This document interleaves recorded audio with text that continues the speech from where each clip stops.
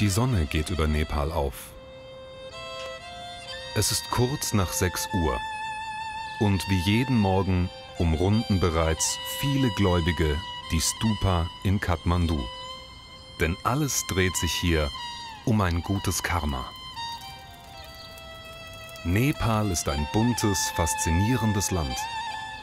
Die Menschen hier sind offenherzig und freundlich, obwohl viele von ihnen von großer Armut betroffen sind.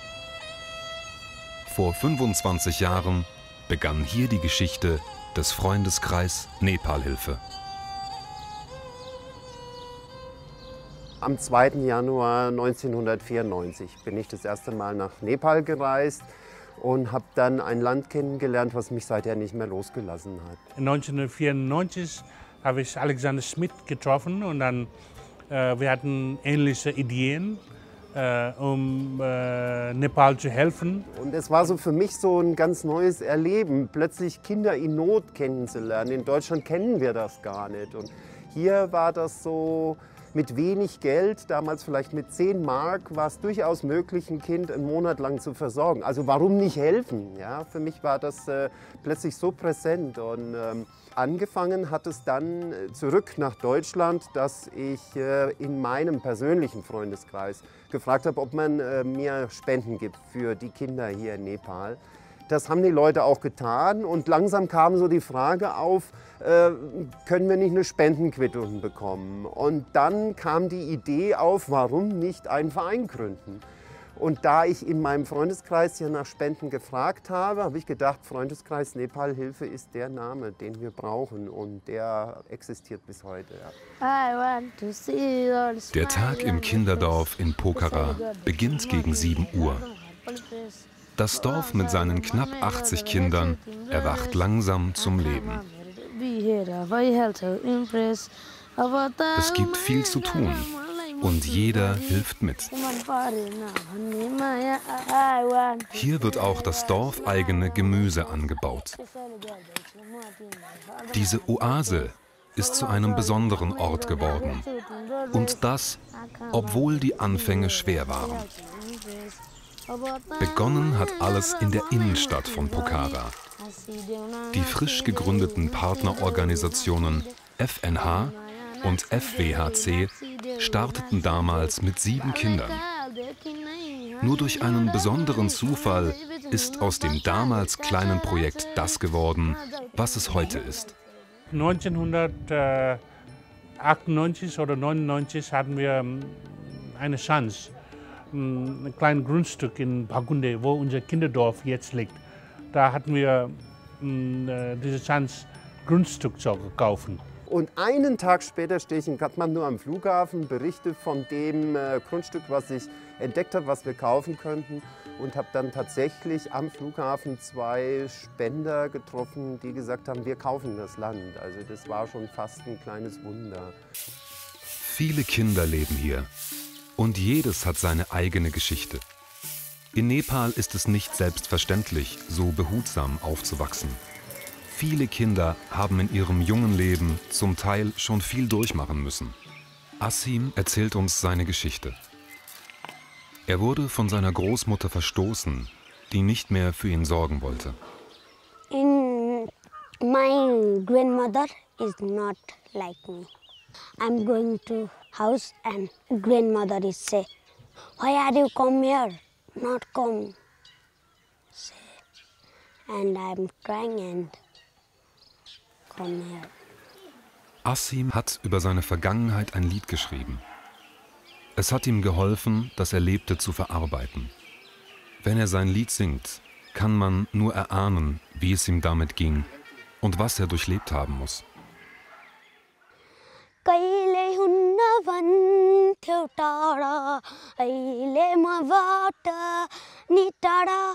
के नभयो के न तिमी मलाई यति पहिले फ्याक्यौ मलाई तिमीले छोरा है न भन्दै तिमीले भन्दा माया गर्ने अर्कै पाइसके। तिमीले भन्दा माया गर्ने अर्कै पाइसके Heute geht es ihm gut. Auf die Frage, wie es ihm im Kinderdorf gefällt, überrascht er mit einer Antwort, die für ein Kind eigentlich selbstverständlich sein sollte. Play and read and eat so many.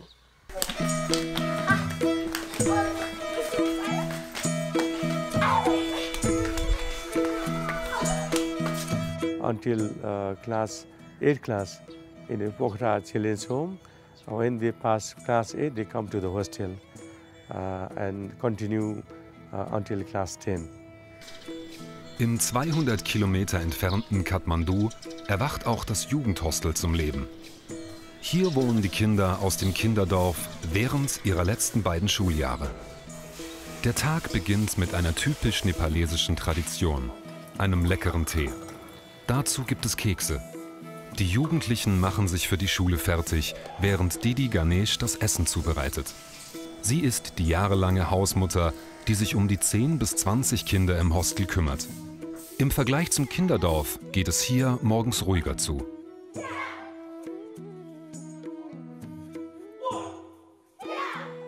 In Pokhara ist es mittlerweile 8 Uhr.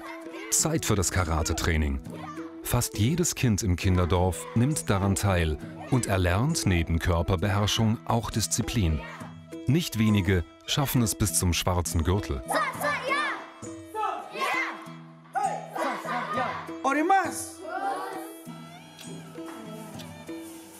Jeden Morgen um 9 Uhr gibt es Dalbat.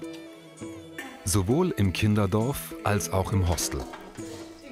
Das nepalesische Nationalgericht wird von allen Kindern gleichermaßen geliebt. Und das, obwohl es jeden Tag auf dem Speiseplan steht. Was für Außenstehende manchmal schwierig nachzuvollziehen ist. lunch uh, dal and pickle and curry every day. Yeah, every day dal bhat.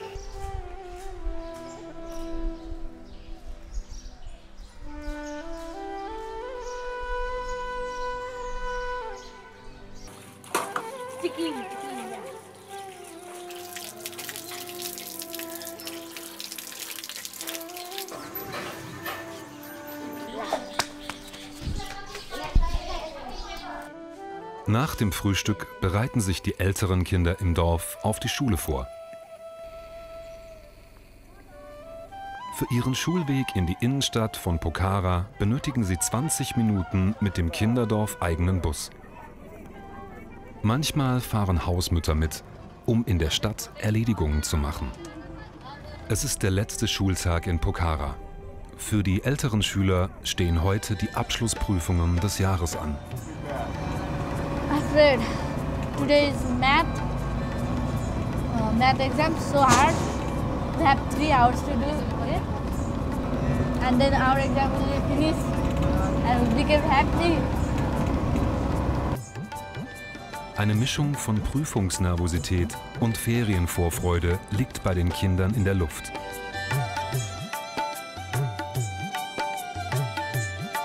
In Kathmandu stehen erst morgen die letzten Prüfungen an. Auch hier ist die Aufregung zu spüren. Gleichzeitig sind die Kinder aber auch sehr für das Privileg dankbar, in die Schule gehen zu dürfen, was in Nepal nicht selbstverständlich ist. In Nepal, uh, some some schools are good, some schools are not good. In rural area, many people are not going here because of not good facility. Yeah, I'm so happy to go in school. Die staatliche Schule ist nur einen zehnminütigen Fußmarsch vom Hostel entfernt. Kinder, die in Nepal nicht zur Schule gehen, fangen meist sehr früh an zu arbeiten, obwohl das eigentlich gesetzlich untersagt ist. Oh, Nepal is very beautiful country. I'm uh, I'm a citizen of here. I'm very proud, and everybody loves Nepal. But here we have it. We have uh, very unstable political situation. Yeah, because of that here, and uh, not uh, developing here so well, especially in the education field, and because of that, children are the victim. Uh, strictly, uh, I mean, the children are not allowed to work in the big factory. Uh, some children they are uh, obliged. If there is no work, they can't eat. they, they have no food in house. So those children uh, sometimes work in the brick factory and some other factory also. Wenn die Kinder keine Aufnahme in sozialen Projekten finden, dann werden sie oft, wenn sie Glück haben, zu Verwandten gesteckt, die sich dann noch einigermaßen um die Kinder kümmern.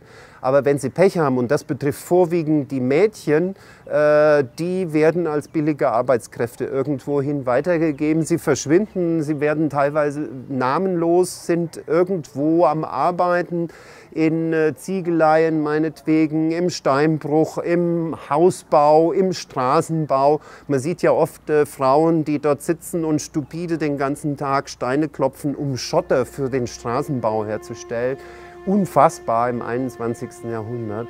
Aber dahin gehen diese Mädchen. Unweit des Jugendhostels steigt Rauch aus dem Schlot einer Ziegelsteinfabrik.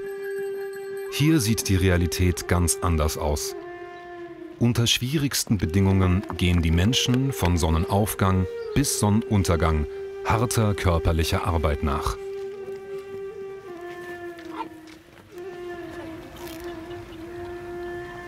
Von einer Schulbildung können die Kinder in der Fabrik nur träumen.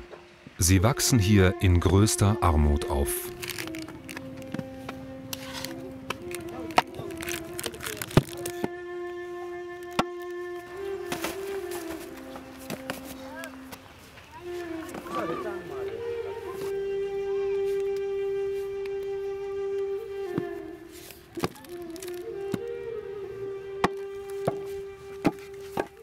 Condition of Nepal, there is a lot of children like us. So I think uh, we need, our country need more organizations like our to protect the children and they provide them a good education and better life. All children who live in a children place, they feel also heaven for them. Uh, it's uh, like a brother and sister, big family, their mother and staff, all are is a neighborhood and a family.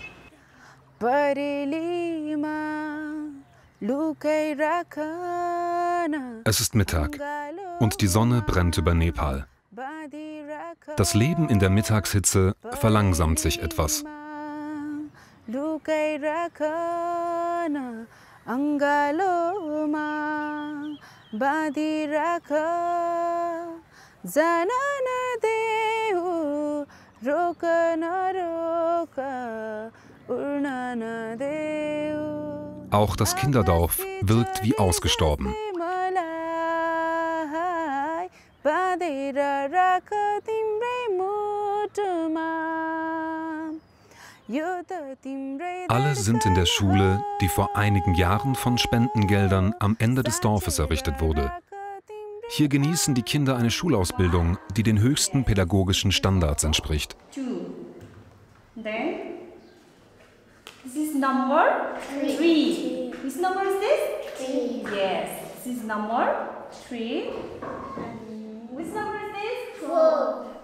How many pictures are there? Three. Three. Count this? One, two, three. Three. Count गरेर भन्ने. Two. And which number is this? Five. Five. Dennoch war es ein langer Weg, bis die Schule offiziell von der Regierung anerkannt wurde.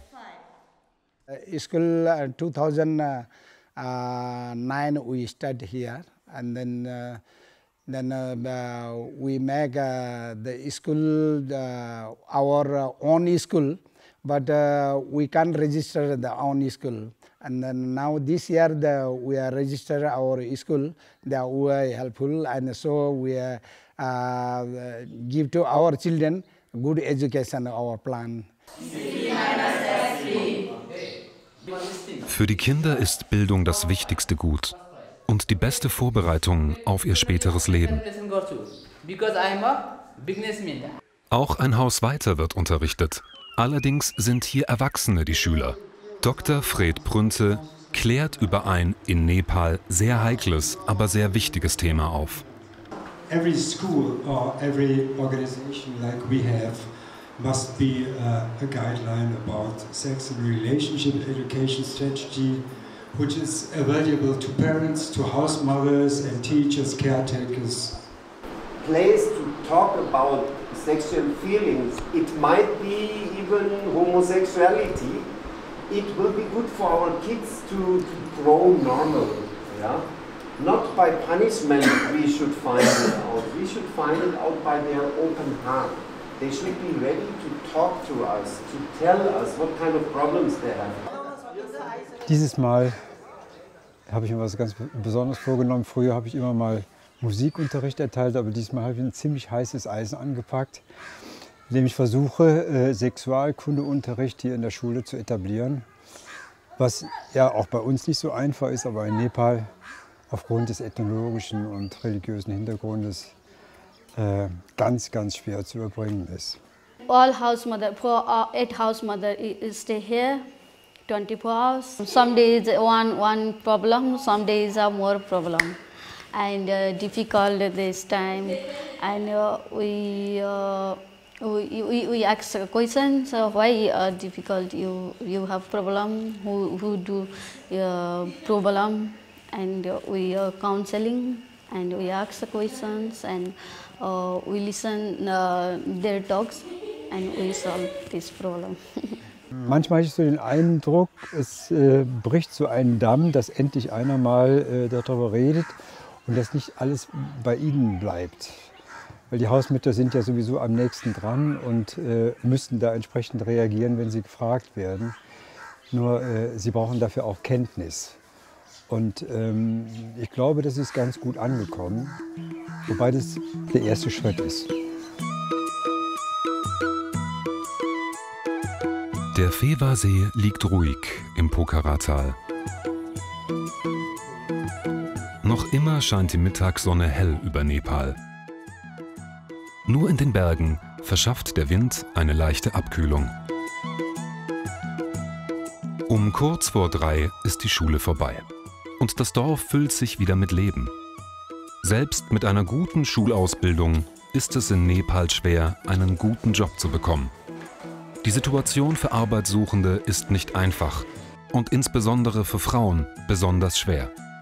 Yeah, in Nepal there is a difficult to get a um, woman for the job because uh, most of most of the people have the not good sense among the ladies and and they have the sense of that with uh, ladies cannot women cannot do like uh, gents and so they cannot get uh, easily the job they have to they should have to more practice and more struggle for achieve their their uh, one's job and that's all मनमा रुदी भाषा आँखै भरे उनकै तस्बिर मनमा रुदी भाषा आँखै भरे उनकै तस्बिर 15 Uhr. Zeit für den täglichen Mittagssnack. Bei den Vorbereitungen helfen alle mit, egal ob groß oder klein. Auch das bereitet auf das spätere Leben vor. Durch das harmonische Miteinander ist es wie in einer sehr großen Familie. Man vergisst oft, dass diese wunderbaren Kinder zum Teil mit schlimmen Geschichten im Dorf ankommen. Oft braucht es noch Jahre, bis sie ihre Vergangenheit und ihr Schicksal aufgearbeitet haben. Wichtig ist, dass man im Kinderdorf jedes Kind einzeln, individuell betrachtet. Ja, die Kinder haben ja ganz unterschiedliche Situationen, aus denen sie herauskommen. Also teilweise sehr arme Verhältnisse, teilweise auch Gewaltverhältnisse ähm, sodass wir einige Kinder auch in der Traumatherapie drin haben, wo wir halt erstmal versuchen müssen herauszufinden, was deren Problem ist, wo sie auch erstmal lernen müssen, über ihre Gefühle zu sprechen. Und dann kann man auch versuchen, ihnen zu helfen und ihnen einfach eine neue Orientierung zu geben und neue Ziele. Some of the kids are, you know, have, uh, uh, you know, trauma in their life. They experience many uh, ups and downs in their life so that they ended to the um, you know um, children's home. You know, for the adults, uh, you know, they have the communication skills. Their communication is developed, but for kids, it's difficult to communicate when they have the issues or when they have uh, some problems inside. So uh, they can express through the through their play, uh, through the different items in the play therapy. You know, the inside comes outside, and slowly they start enjoying their life, making their friends in school. So it's a very powerful tool that we offer. Wenn Kinder kommen, man kann sich das vorstellen nach dem Erdbeben zum Beispiel. Es äh, sind drei Geschwister zu uns gekommen, Subot, äh, Suraj und Soni. Äh, drei Kinder, deren Vater hat äh, die Mutter ermordet. Das ist sehr, sehr schlimm für die Kinder. My family situation is very poor here. My mother is died and my father is with in jail. When I mm, we are in my our place, there is no for us no food, no clothes. When we come here, all thing is good in here. They give me new life. They change my life. When I am in my village, I feeling I do not do anything. I have no chance for my future. When they are playing, uh, and when they are playing happy, then I also feeling happy because um, I want to doing work um, with the place of mother so that um, they are happy I also happy my happy is them happy they are happy also my happy Der Alltag im Kinderdorf ist sehr strukturiert. Diese Struktur gibt den Kindern einen zuverlässigen Halt, eine Konstanze, die ihnen hilft. Jedes Kind wird von klein auf in die alltäglichen Abläufe eingebunden. Dadurch werden sie selbstständiger und gewinnen an Selbstbewusstsein.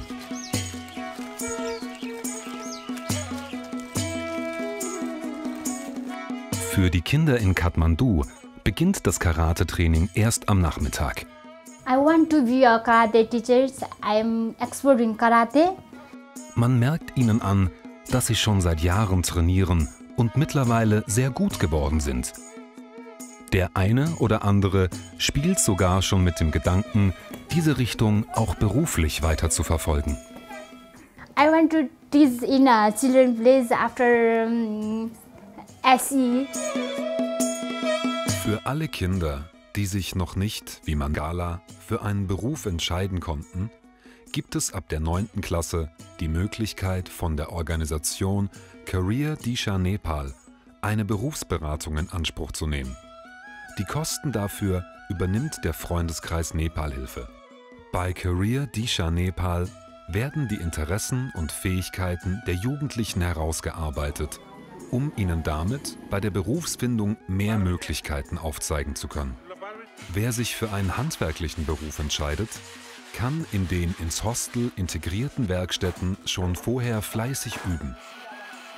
Hier haben aber generell alle Jugendlichen die Möglichkeit, ihr Geschick und Können in den Bereichen Elektrik, Holz und Metall zu erweitern. Dieses Wissen ist für ihr späteres autarkes Leben äußerst sinnvoll.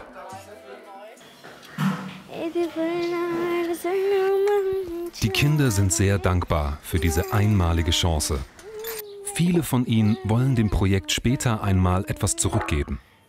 Morgen werden acht Kinder das Dorf verlassen, um nach Kathmandu zu gehen und dort ihren Schulabschluss zu machen. Die kleineren Kinder haben zum Abschied einen Tanz vorbereitet und üben noch ein letztes Mal.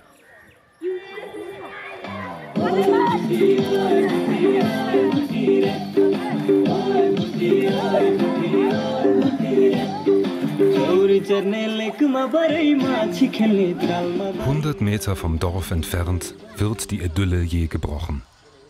Die Kinder hier arbeiten bis spät abends im Holzbetrieb ihres Vaters. Es gibt kein Wochenende, keine Ferien und auch keinen Tanz. Der Freundeskreis Nepalhilfe bemüht sich seit seiner Gründung, auch Zustände wie diese im Land zu verbessern. Also unser Wunsch ist natürlich, das Land insgesamt nach vorne zu bringen, weil ähm, das ist auch entsprechend in unserem Satzungszweck festgeschrieben, dass, dass das halt ein Ziel ist, jetzt Nepal insgesamt zu helfen. Yeah, this year, besides Children's Village and Youth Hostel, we have like seven, eight other community-based projects, uh, different districts. Am Nachmittag braut sich ein kurzes, heftiges Gewitter zusammen. Der Himmel verzieht sich in wenigen Minuten. Aber nicht für lange. Das Unwetter ist genauso schnell wieder vorbei, wie es angefangen hat. Manchmal hagelt es auch. Die Kinder haben gelernt, einen besonderen kreativen Nutzen daraus zu ziehen. Wassereis in seiner natürlichsten Form. Auch das wird selbstverständlich geteilt. यस्तै माया गरेर अङ्गालोमा बेरेर सधैँ तिम्रो हुने मन छ यो मनले सधैँलाई माया गर्ने तिमीलाई ठुकुढुकी बनाउँछु भन्छ लाग्छ मलाई मेरो जीवन फेका रहेछ Mittlerweile ist es 18 Uhr. हो हो लाग्छ मलाई Zeit für das Abendessen. Natürlich Dalbat. स्वर्ग Yeah, every Faszinierend sind die großen Portionen, die selbst von den Kleinsten verputzt werden. Es ist ein letztes Abendessen mit allen zusammen. Alle sind traurig, aber jeder weiß, dass der Abschied auch notwendig ist. Ja, ich glaube, was unser Projekt auszeichnet, ist, dass wir einfach schon sehr lange hier im Land sind. Also diese 25 Jahre Zeit, ähm, die haben natürlich auch viel an Erfahrung mitgebracht. Also früher gab es zum Beispiel das Jugendhostel hier in Kathmandu nicht. Es gab das Kinderdorf und irgendwann sind die Kinder dann ins harte Leben entlassen worden, sage ich jetzt mal so. Und das Kinderdorf ist schon so ein Stück weit auch eine Oase. Und man hat dann im Laufe der Zeit halt einfach gesagt, okay, es muss einen Zwischenschritt geben. Sie müssen so schrittweise auf das ähm, wahre und echte harte Leben vorbereitet werden. Mir war schon immer klar, dass es Hilfe zur Selbsthilfe sein sollte. Also erstmal Kinderdorf, volle Behütung. Es ist ein klein wenig, äh, vielleicht auch äh, ein kleines Paradies, würde ich sagen. Und dann kommen Sie aus diesem Paradies heraus, äh, 9., 10. Klasse hier in unser Jugendhostel. Eine andere Stadt, äh, andere Umgebung, andere Verhältnisse. Hier ist die Betreuung nicht so intensiv wie im Kinderdorf. Das ist wie ein Transitpunkt für unsere Kinder. Dann ähm, nach zwei Jahren, wenn die sind etwa 16, 17, dann müssen wir unser Kinderdorf oder unser Hostel verlassen, selbstständig zu werden. Und seitdem wir das machen, funktioniert es wunderbar. Also die Kinder bereiten sich nicht nur körperlich, auch gedanklich darauf vor, dass sie unser Projekt wieder verlassen müssen. Definitely, we are sad and upset for this. Another very good things. Just uh, they are also being the part of our family. We should do it. Send them. And actually, I don't like to say this is the farewell. This is the best wishes for their future. Es ist Zeit für die Abschiedsfeier. I wish you all a bright future. Yeah? You have got such a good foundation here in this children's village. Really do it. You will have a good future. I'm 100% sure, and I all want to meet you in Kathmandu as soon as possible. This will be your new home for another two years, and then the open world is for you. Yeah? Es ist ein sehr emotionaler Abschied. Ein Abschied mit viel Herzlichkeit und, wie in Nepal üblich, viel Tanz.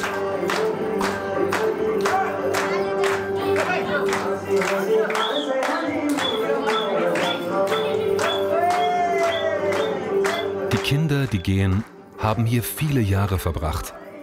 Jahre, die sie geprägt haben. Sie gehen ihren Weg nun weiter. In Kathmandu freut sich Didi Ganesh schon auf die Neuankömmlinge. Als einzige Hausmutter im Jugendhostel hat sie viel um die Ohren, freut sich aber sehr, sie beim Heranwachsen begleiten zu können. अब भनेको मान्दैनन् कहिलेकाहीँ होइन गाह्रो हुन्छ अब कहिलेकाहीँ चाहिँ मान्छन् अनि खुसी भयो उनीहरूले पनि गरेर खाओस् ठुलो मान्छे बनियोस् भन्ने हुन्छ हामीलाई एकदम पढेर धेरै ठुलो ठुलो होस् राम्रो होस् धेरै नम्बर ल्याओस् भन्ने एकदम खुसी हुन्छ त्यसमा चाहिँ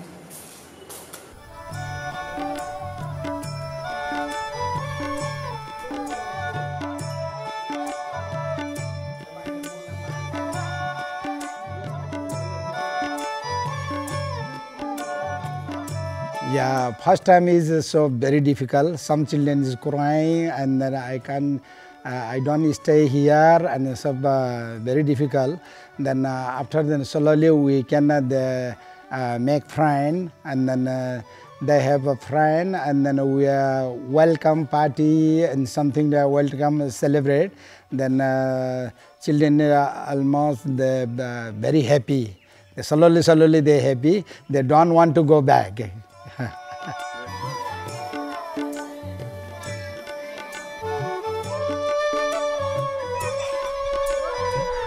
I'm live here in eight years, and now, now I was going to Kathmandu to, tomorrow.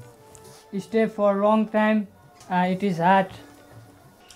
very sad because oh, they stay here small things here and uh, many times uh, mm, stay here and uh, love and uh, learn about and then very difficult all mothers all staff and children also very difficult they go Wenn die Jugendlichen morgen ihre Abschlussprüfungen bestehen, werden sie in die Welt draußen entlassen.